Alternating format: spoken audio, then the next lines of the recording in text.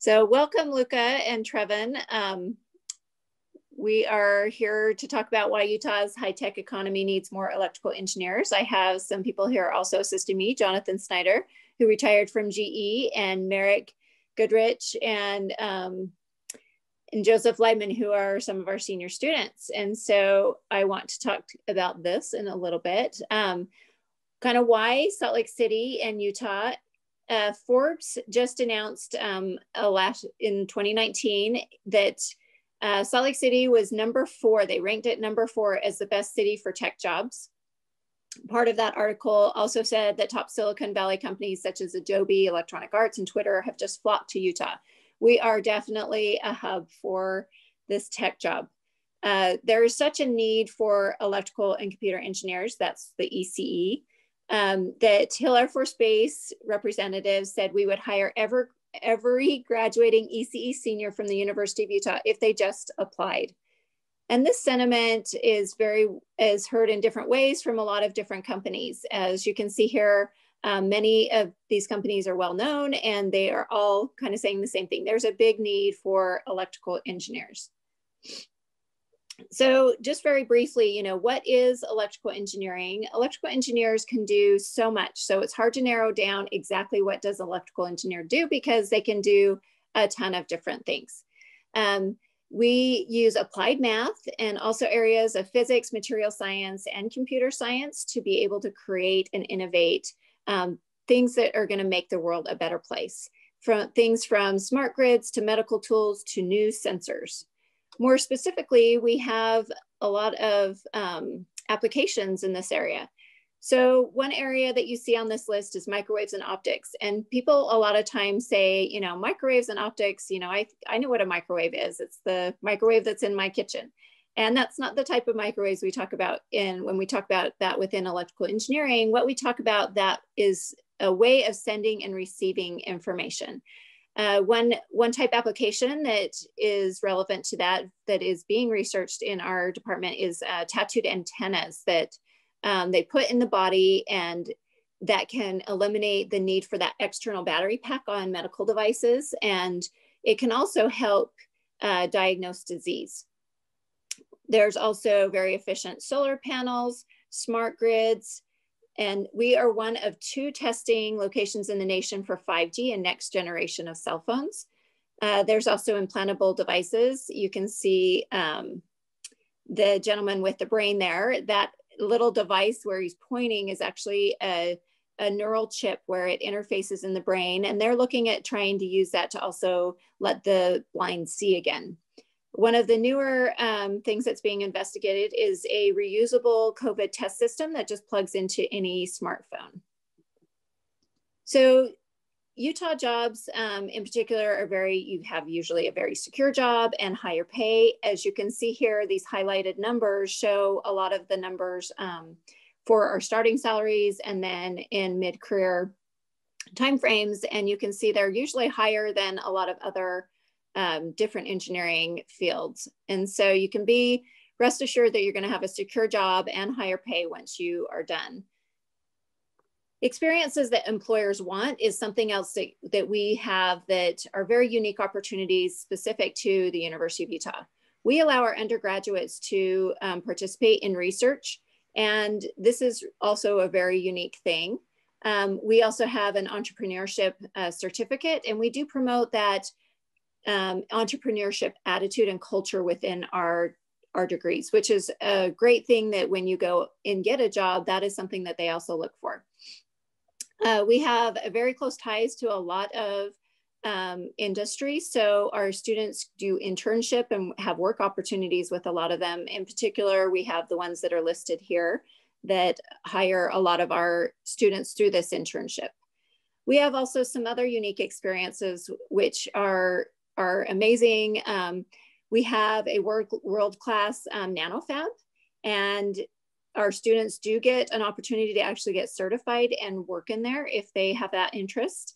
Um, we also have travel opportunities. Um, one such opportunity uh, was Antarctica. One of our uh, professors, Dr. Furse, took a group um, and did a study up in Antarctica on sea ice and the melting of sea ice. Another opportunity is that we just opened up a new um, a degree is being, our degrees both in electrical and computer engineering are being offered in our South Korea campus. And so this opens up an opportunity for our students to be able to go over there, study the same classes, they're the exact same content. Um, as undergraduates, they are also able to provide TA um, assistantship to classes they've already taken to the other students. And then they're paid enough that usually it's enough to um, get their housing over there and pay um, for their travel over there. And so if if students get scholarships to our department and to the U, you can use those same scholarships to pay for the tuition over there also. So it's the same exact cost for tuition, and then you have that opportunity to go to South Korea and get that experience, which is great. Um, so I am going to be posting in this window. There is some other um, sessions that are going on if you guys need their Zoom links, which are also related to electrical engineering. Um, so please feel free to enjoy those. And type in this chat window if you have any qu specific questions that you want. Um, I have two students with me today, Joseph and Merrick, and they are going to be looking at those and then they'll post those in a second. Um, and then I'd like to introduce, um, I have Jonathan Snyder, and Jonathan is um, retired from GE, so I'll let him, I'll kind of turn it over to him for a second. Okay. Uh, yes, I'm uh, John Snyder. I was working at GE for uh, 29 years in sort of two groups uh, in ultrasound. I started in ultrasound. This is all medical imaging, by the way. This is uh, GE Healthcare. There are many divisions of GE, and they are located also in uh, in Utah. A lot of service businesses, some finance businesses. The one I was particularly interested in, in was uh, one called OEC, which stands for Orthopedic Equipment Company. And it was purchased by GE Healthcare in uh, around 2000. So that's when I joined here, here in Utah. Um, it's located out by the airport and has uh, overall about, I think it's about 1,500 employees all over the world. There are about four or 500 employees here in the Salt Lake Valley but they are they are the world leaders in imaging for surgery. And you can say, well, why is that interesting from an electrical engineering viewpoint? It's because almost all of the machine is an electrical engineering device. So we have we have electrical engineers who are designing the electronics itself. That is that is the circuit boards which run and operate the machine. Um, there are the electronic engineers that develop the X-ray generators, which which power electric um, X-ray tubes. So again, another another type of technology. But then perhaps most interesting is the image processing, which goes on after the image is received by either the image intensifier, which is when I started, or lately it's been a basically it's a camera a, a camera that's put behind a scintillator screen. And that raw data goes into the, into the computer and is processed. But the algorithms that are used to make that image are all done by the electrical engineers.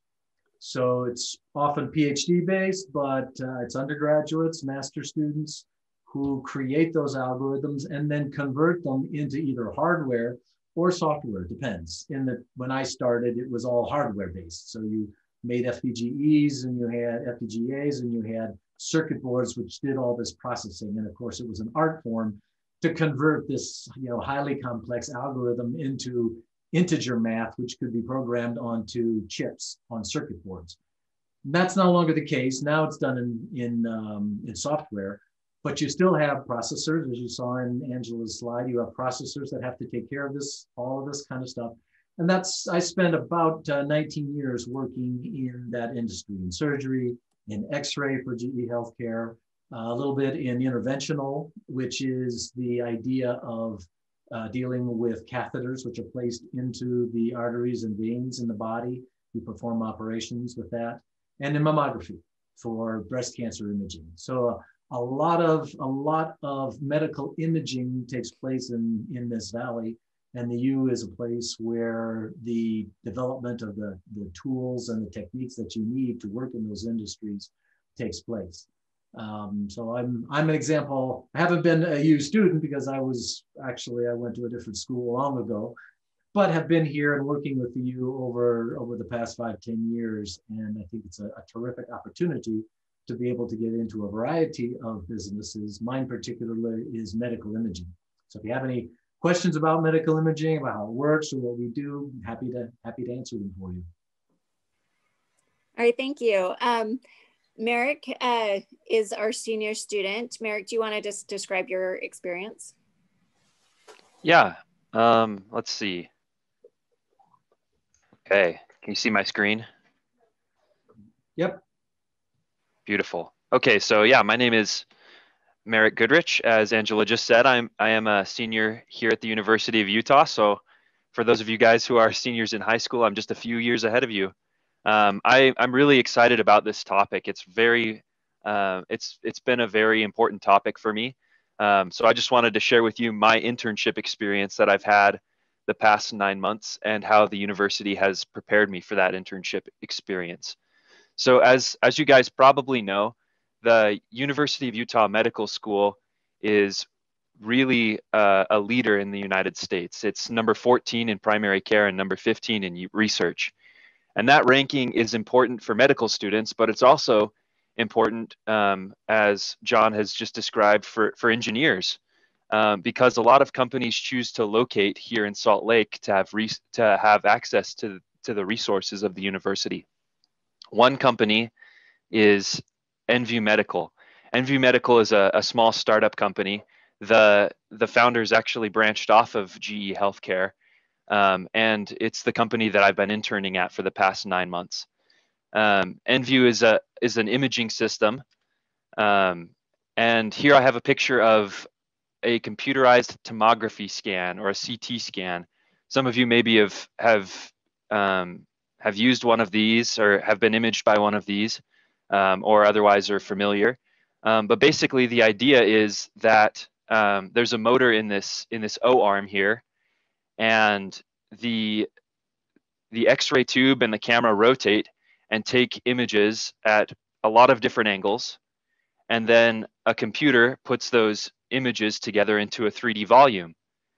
The device that nView Medical is working on and the device that I've been working on for the past nine months is called the S1 system. And, and uh, it's similar in, in that idea. The patient would go in between this plate here and this uh, disk. And inside this disk, there's a rotating X-ray source that takes images at various angles. And then we're able to reconstruct a 3D volume. So here you can see this is this is a human spine that we've imaged, and this is this this uh, screen here shows the view from the front of your belly button to like the back to your back. And then this view shows from your right hand to your left hand, and then this view shows from slices from your head to your feet. So you can see kind of the three different angles um, of your spine here. Um, and this is all stuff that I've been that I've been working on this system.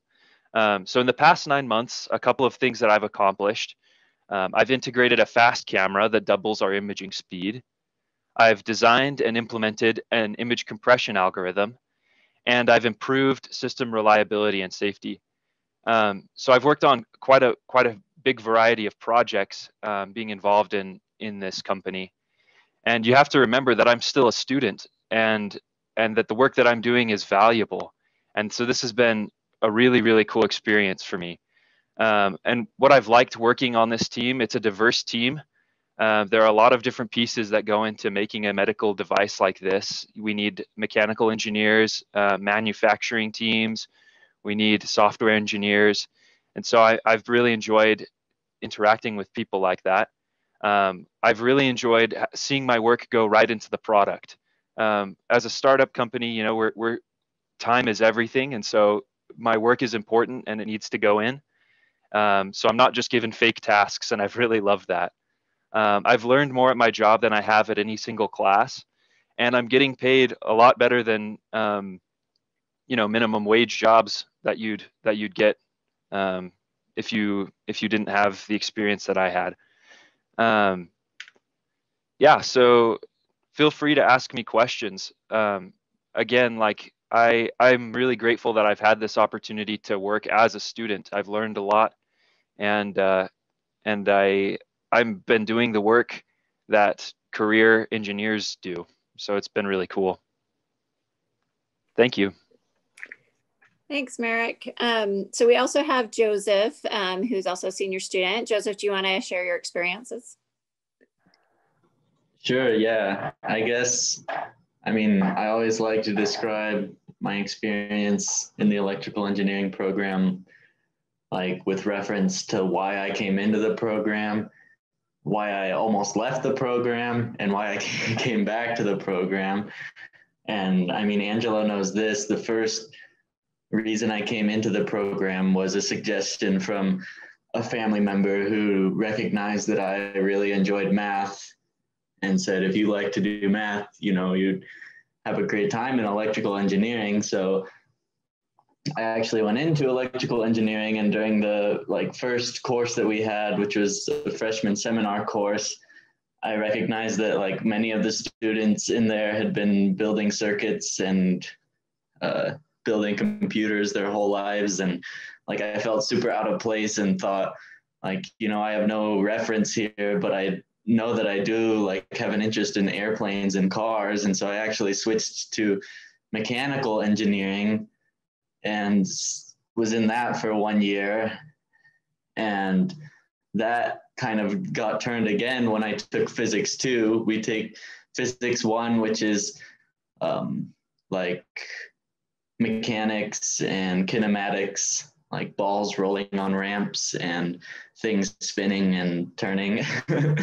and physics two is more electricity and magnetism and taking that class you just kind of feel like the whole world around you is just like opened up and you sort of start to understand how your phone can wirelessly communicate with someone on the other side of the globe or how your light switch can turn the lights on your room instantly.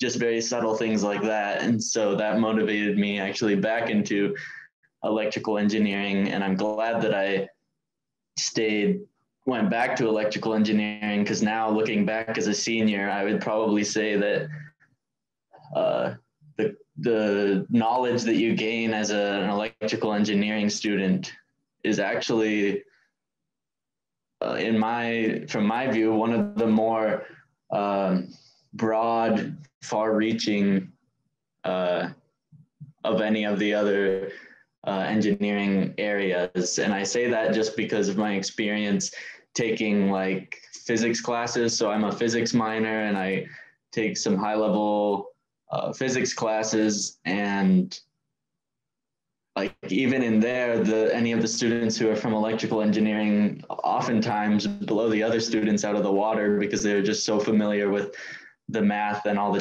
transforms and whatnot so i mean i think if you're on the edge of any sort of field of work that's remotely related to electrical engineering, I would say that it's your safest bet, the most interesting, um, your most interesting bet. And yeah, our program here at the university has given me a lot of opportunities to explore that.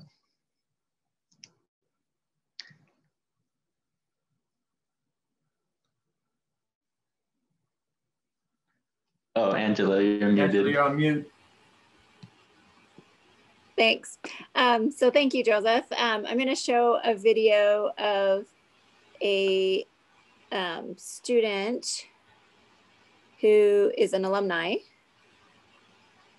Oh, I just had it up here.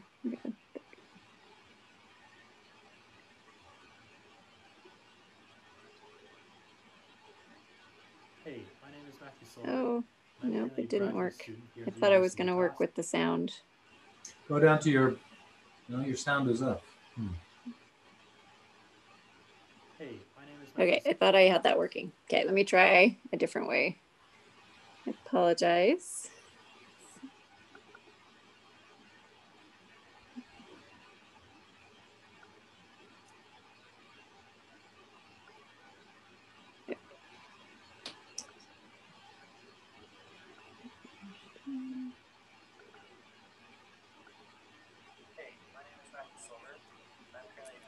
Student here at the University of Utah studying electrical and computer engineering. I did my undergrad. Hey, my name is Matthew Silver, and I'm currently a graduate student here at the University of Utah studying electrical and computer engineering. I did my undergraduate degree in electrical engineering here, and I got, also got a minor in computer science. Electrical engineering has been an immensely valuable experience for me. It is a, challenging field, but it has provided me great opportunities. One of the cool things is that I'm actually also working right now. So I work up at Hill Air Force Base, and I work on um, a plane called the A-10 Warthog. It's this this guy, if you can see it. It's a nifty little plane. It's not the fastest, but it's kind of the most utilitarian.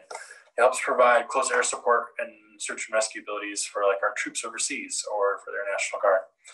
Um, one of the cool things is it actually fires a bullet that's this big. You know, it's pr- pretty massive. But one of the cool things about my job is that I get to go out and I get to interface with pilots most mostly I think nearly every day, um, and I get to help them to improve what they need and help give them the tools that they need to help others um, and save lives. Um, and that's an incredibly cool job. One cool thing about working up at Hill is that they would actually take every single one of you who graduate in electrical engineering um, as soon as you graduate. All you have to do is apply. There are so many opportunities for great jobs out there and they allow you to do great things as well. So that's kind of my experience. They're, um, I'm actually getting paid by them to go to school, and so that's kind of my awesome deal with them. And that's helped me to be able to do fun things. Like right now, I'm actually up skiing right now, and I love doing that. There, um, now school in electrical engineering is challenging. Um, it really pushes you and helps you to learn cool things. And that's what I wanted when I was trying to figure out what I wanted to do. Um, my dad's electrical engineer, and I already knew a lot about it. But when I got to school, that's what really stuck with me and why I kept with it.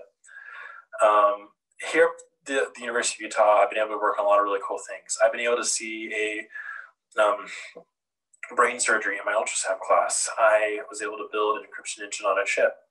I've been able to do multiple audio projects, one where you could actually have your laptop act like a keyboard and output sound to a speaker, like a piano or something.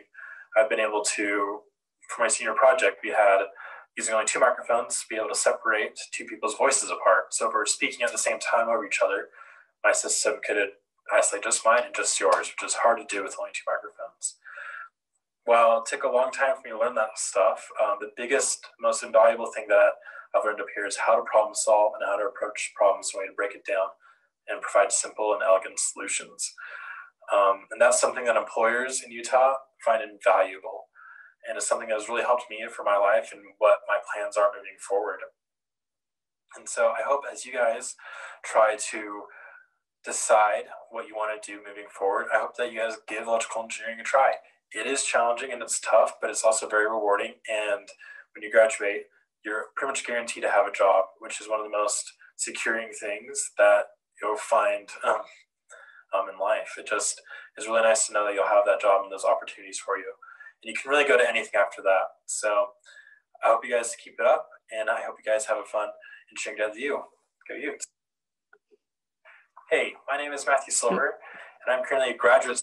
Sorry. All right. So, all right. Um, so Luca, um, Trevin, and Cameron, do you guys have any questions particular for us to answer? That kind of concludes. Um, hopefully, you've gotten an impression of why it's important to, um, or why why go into electrical engineering. We hope to encourage you to do that. Um, but I understand you guys may be interested in other areas, and that's fine too. Do you guys have any general questions you would like any of the panel that we have here today? So, Jonathan, Joseph, Merrick, or myself? Um, can answer.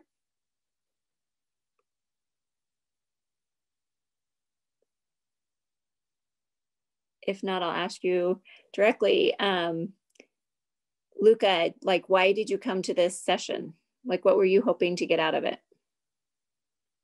Are you able to answer?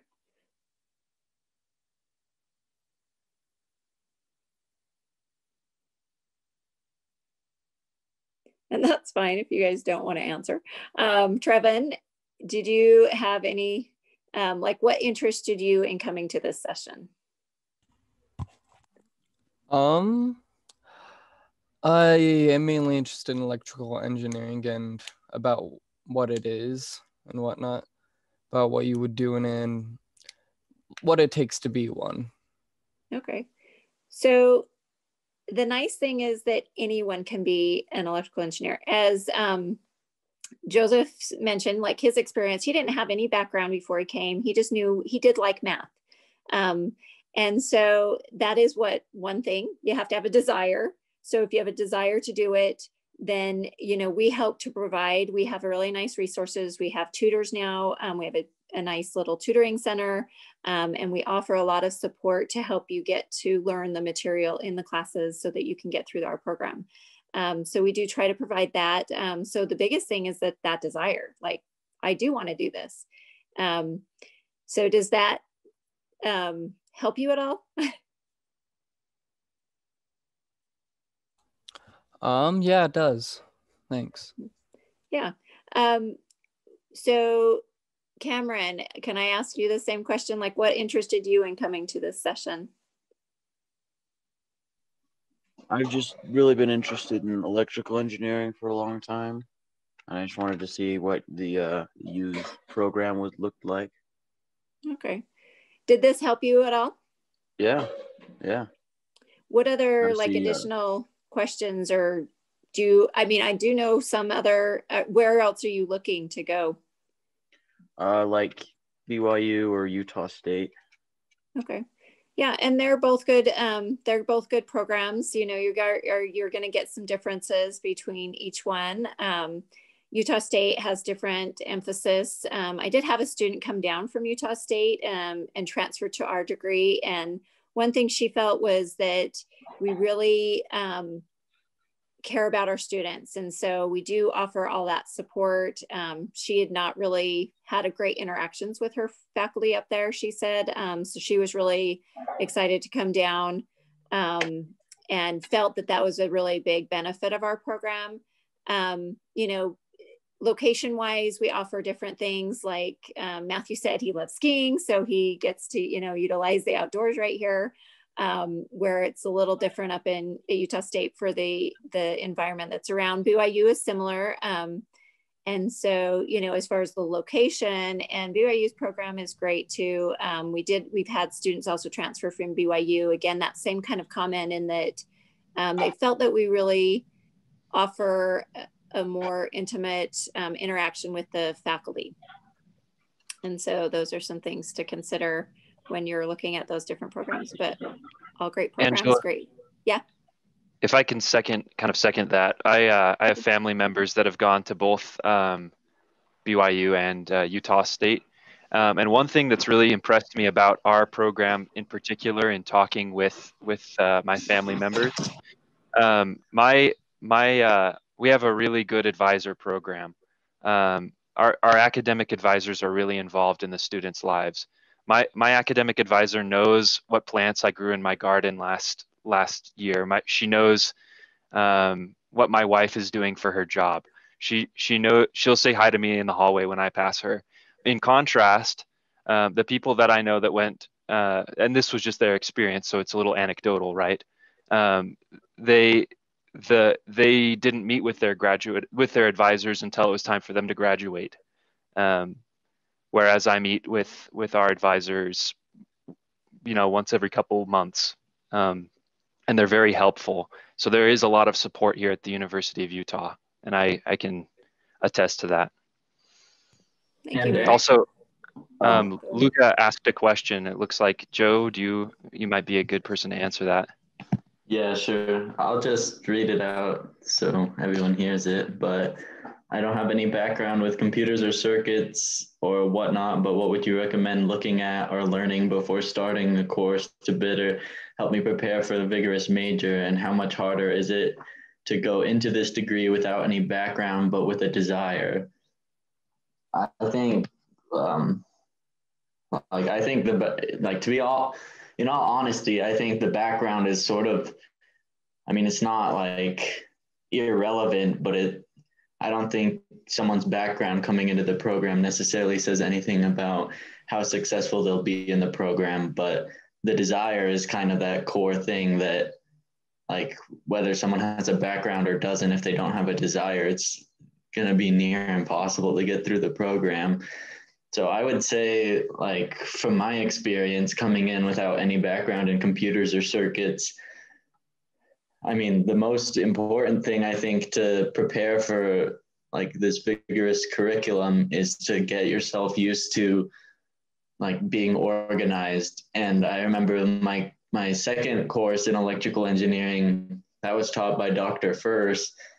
Um, her one piece of advice for all the incoming freshmen was that like once your your schedule is going to get more and more complex and if you don't like literally write it out and add up all the time that you expect to spend like things are not going to get done. And i see that like every semester like i try not to do it not doing it because i sometimes think like oh it's not going to be worth my time to like write out a schedule. But anytime like i've put that on on the side like everything else starts to fall behind. So i'd say that like more important like if you have the desire and you pair that with like a good ability to keep organized and make sure that everything you have to uh, get done has a time and a place and that it will get done by the deadline then that's kind of like the two i would say major enablers for doing well in the ee program. But i think if you like for me at least i think if i had that first when i first came into electrical engineering and got turned away because i had no background i think if i had spent a little more time looking specifically at like the different areas of electrical engineering and recognizing that it's not just about circuits but there's a lot of physics and there's a lot of pure math. And so my recommendation on those lines would be to actually go to the University of Utah Department of Electrical Engineering's website. And I mean, this is something I always did as a lower classman and click on the research areas and just see what uh, what the different areas actually mean. And uh, you certainly don't have to just do that at the University of Utah. Like you can look at all sorts of universities and get a bigger picture of the possibilities for uh, EE students. Oh, great. Um, the other thing I would add to that is as much math as you can to prepare is helpful. So um, if you can get into, you know, pre-calculus, um, calculus is even better, um, you know, but I think getting up to that point in the math is, is much easier um, to come in with, you know, being calculus ready at least um, so that your first class of calculus is there but if not again you can you know work your way through and we have a lot of students that work their way through from just college algebra take trigonometry and then um, pre-calculus and then calculus and so you can work your way through. It just takes a little longer if you're not calculus ready so that is something else that's helpful if you can prepare is to get to the point where you are calculus ready coming in. But again not not something that you absolutely have to do um, as I said, there's lots of students that do do come in and just start working through all that math. So, so do um, take advantage of any math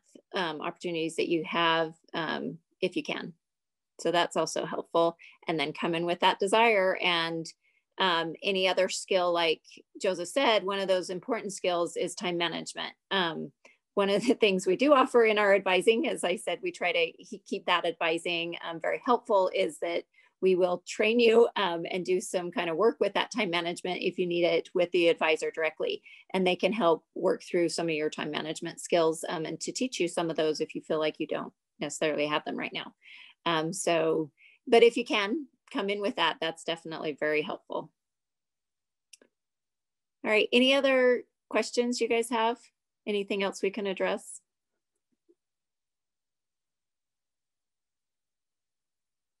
Well, thank you for attending and hopefully um, this has helped you be interested more in our program and hopefully you're getting excited about it.